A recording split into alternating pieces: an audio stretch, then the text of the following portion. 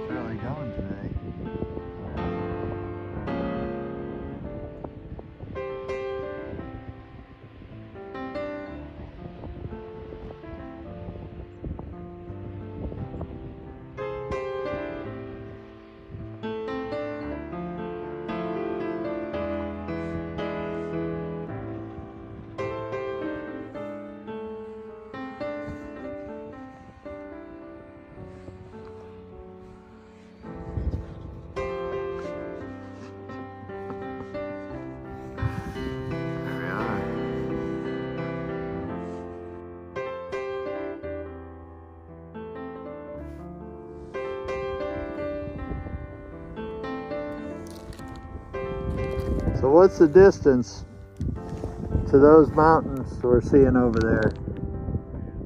That 50 miles?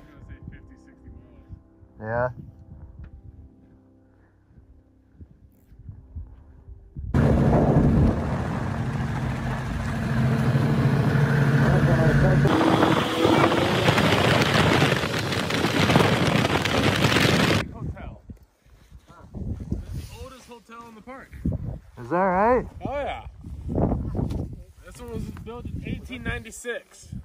Some places not even that bad. You still have a lot of thermal activity that lies underneath the water.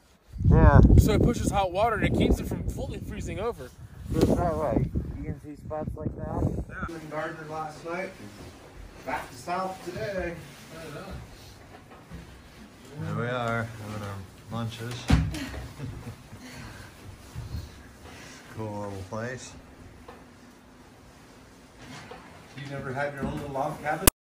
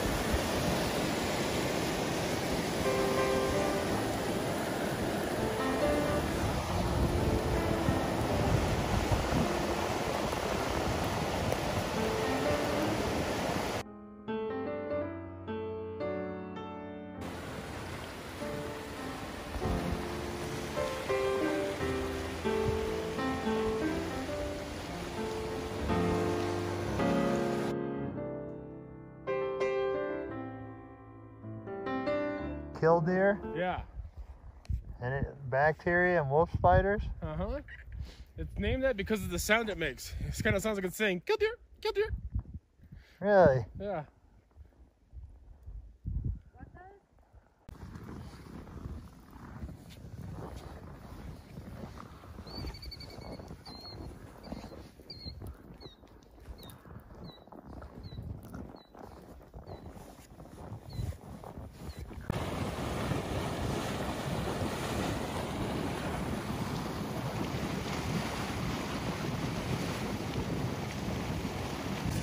Uh, you had a that was a pretty huge development area before uh, modern times, before the automobile, late 1800s, early, early 1900s. And in one of those fields off to the left, you used to have the Fountain Hotel. Yeah. It was two stories in its prime. It was usually your last hotel before you made your way to Old Faithful. Because Yeah. horse and buggies, roads weren't developed, it was rocky. To make it from Mammoth Hot Springs all the way down to Old Faithful would take you a couple days.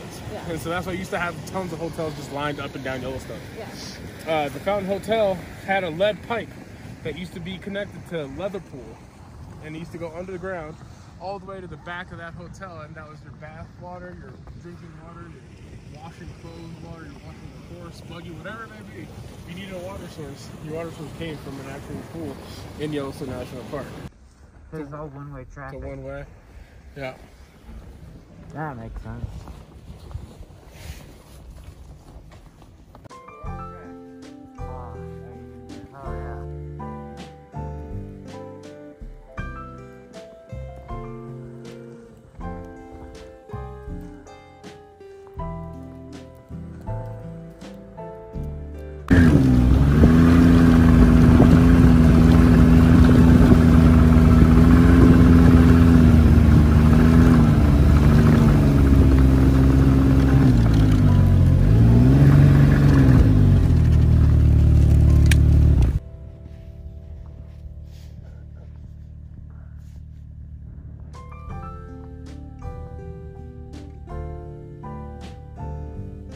Couple babies in there. There.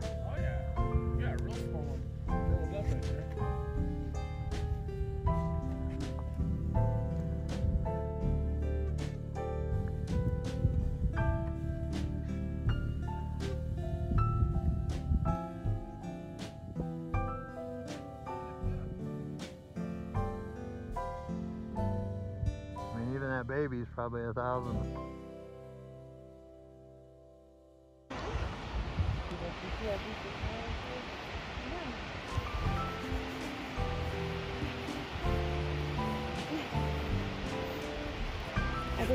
I just take your photos. Okay. Uh,